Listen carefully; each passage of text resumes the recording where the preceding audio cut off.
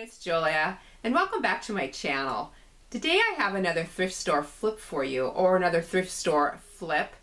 Uh, a little bit different this time because it's a no-sew project, and we're going to be doing a spring decor item. So I hope you join me. For the past several years, I have had the great opportunity of being a mentor mom for a group of young women in our community.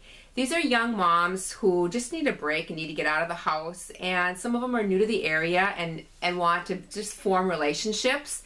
And I'm a mentor mom for them. So what I do is I'm there for encouragement, um, answering any parenting questions that they might have, and just basically just love on them. But this time, I am in charge of the craft, and the whole hour and a half is going to be doing a craft they gave me well we don't have a budget. They, they gave me like almost no budget. Uh, so i thought well i'm gonna have to be a little bit creative. And i do i am taking some things from my stash because if you all have seen my sewing room declutter series you know i have a lot of stuff. So i'll be i will be donating some things. I went to the thrift store and i want to show you what i found. My thrift store has shelves of these glass vases you know the ones, the ones where you get when you get flowers for your birthday or, or whatever, and then you take the vase to the thrift store, those vases. And here's a sample of the idea that I came up with. By adding some chalk paint and these little spirals that kind of look like leaves for the little paper flower. And the spirals are, are perfect to stick a little family photo or a photo of their children. Here are the supplies that I picked up at Walmart. I picked up the Waverly chalk paint in six different colors and they're going to be able to just to choose whichever color that they want. This is a, a nice paint to use. If you haven't experimented with it, I would recommend it. Um, and each one of these jars $5.95 and I believe we're going to have plenty of paint. But I wanted them to give a get a variety of colors that they could use for whatever decor that they're going to going to be putting it in. The other supplies that I picked up at Walmart are the is the raffia, the little makeup sponges. These are the foam brushes that we're going to be using to apply the chalk paint to the vases.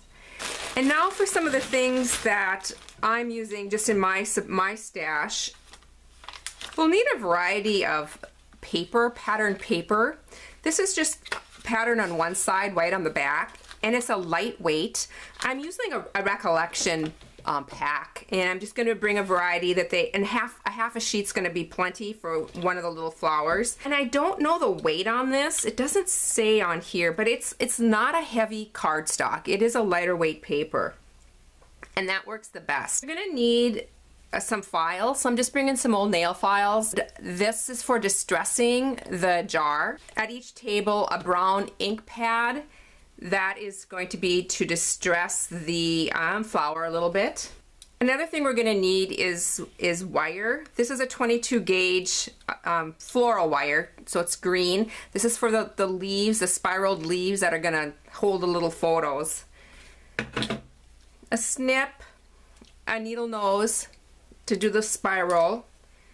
We're going to bring these. These are the Tim Holtz tickets so that they'll be able to stick a ticket in one of the, the leaves of the, uh, the flower. I mean, they have a variety of different words on them, so they'll get to pick one of those and then distress that and stick it in. And I think that's it for my, for what I need to bring. They, they, they do have glue guns there and you just the glue gun is just to attach that flower right at the end. So let's get started. I'm going to just do the steps and how we're going to create these. My big event is tomorrow, so it should be fun. There's three tables of, of ladies, so I want a sample for each table. And I'll show you all three of my samples at the end. These glass vases were 50 cents at my thrift store. We have about 26 young moms, and I picked up 30 of these, these vases. I wanted a couple for samples and also in case one broke on the way to town, I wanted to have plenty. Just putting a really light, thin layer of this chalk paint on. And we're going to need more than one layer um, and, and dry in between. Chalk paint dries quite quickly, and so I think this is going to be an easy project to complete in the, in the hour and a half that we have. Just loosely just drawing seven layers on the back side of this paper. Now these circles need to vary somewhat. The smallest one is about an inch across and the largest one about two inches, but they don't need to be perfect circles. I like the organic look to them, and so I just roughly draw them out.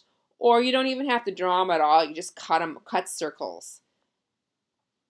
On to just distressing the tips of this. Now all the distressing in this project is optional. If some people don't like that look, you don't have to just do the distressing.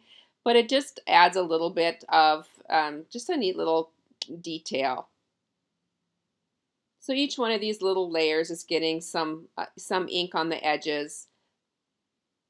And I'm layering them and getting them all organized, smallest to the largest and poking a hole in the center with a safety pin. And then sticking a brad through that hole.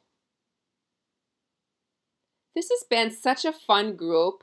I remember being a young mom with um, two two children. I have a son and a daughter, and it was isolating. I was home. I, I mean, I had my craft business, and I started that when they were young. But my husband traveled during the week and was home on weekends, and I did craft shows on weekends, and I it, was it was quite isolating. And so this is just a nice little group to get together and. Uh, these moms, we do provide childcare, and they're able to um, just have a lot of conversations and they really are getting to know each other and forming some really good friendships. And I'm on to the another layer here and I think you saw me how I added some texture to those flowers just by crunching up those those layers.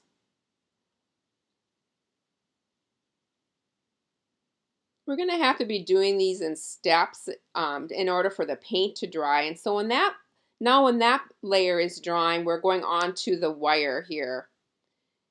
About 18 inches of the wire needs that you need for each of the vases. And I'm just doing that spiral. I started with the needle nose pliers and then I just use my fingers to finish it off. You want about an inch or so of on each end of the spiral.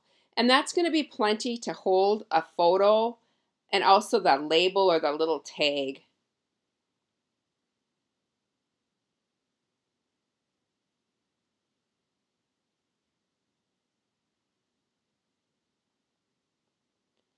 Our main goal when we do these crafts is to make it so it's not too complicated. And so the gals can really just have fun and talk and get to know each other a little bit better help each other out if, if someone gets stuck with something and it just it's just been a, it's just been fun taking that file that nail file now and just distress distressing the jar a little bit and I and I just do this on some of the edges and then around the top of it a little bit too and then just twisting that wire on and giving it a, a twist a couple times in the front of the vase. And getting those leaves out and just getting them in the position that I like. And then the raffia also gets added and the knot all goes in the front of the vase. Raffia adds so much to any hand hands crafted project. I just really enjoy the look of it and it again adds a dimension. I found that just adding a little bit of that chalk paint to the flower really ties everything together. Just adding it to the very tips. And putting a generous amount of the hot glue in the center of this flower. And then it'll attach a right in the center of that knot and also in the center of that um, wire.